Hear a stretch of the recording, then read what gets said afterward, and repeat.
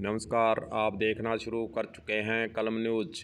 गग्गर नदी में फिर आया पानी और गग्गर नदी का पानी पहुँचा हनुमानगढ़।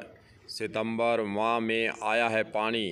वहीं कहीं ना कहीं उन्नीस सौ पचानवे के अंदर भी सितंबर माह में आया था गग्गर में पानी और हनुमानगढ़ जंक्शन के कई इलाके को इस गग्गर नदी के पानी ने कर दिया था बर्बाद।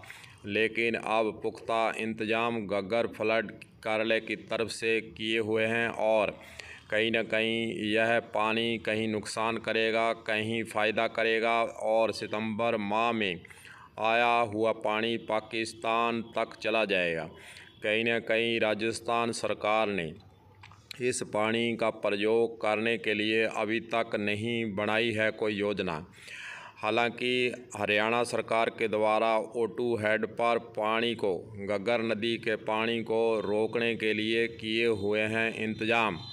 उसी रोके गए पानी से छः महीने तक हरियाणा में चलती है नहर।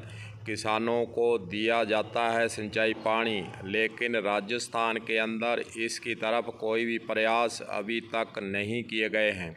पानी व्यर्थ में ही पाकिस्तान तक चला जाता है। अगर राजस्थान सरकार इस पानी को रोकने के लिए गग्गर पानी को रोकने के लिए कोई इंतज़ाम करें तो किसानों को हो सकता है फ़ायदा।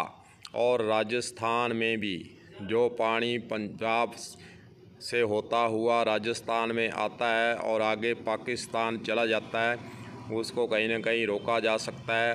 और राजस्थान सरकार को इस और कोई ना कोई प्लान बनाना चाहिए। गग्गर फ्लड के अंदर जो पानी आता है, इसको रोकने के इंतज़ाम करने चाहिए ताकि राजस्थान के अंदर खेतों में हरियाली इस पानी से लाई जा सकती है और किसानों को कहीं ना कहीं जो नहरी पानी की लड़ाई में जूझना पड़ता है, कुछ इलाके को उससे फ़ायदा हो सकता है।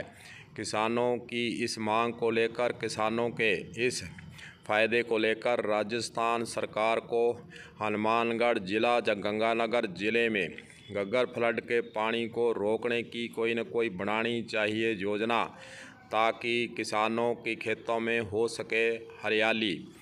कलम न्यूज़ के लिए गुरुदेव सिंह सैनी की रिपोर्ट।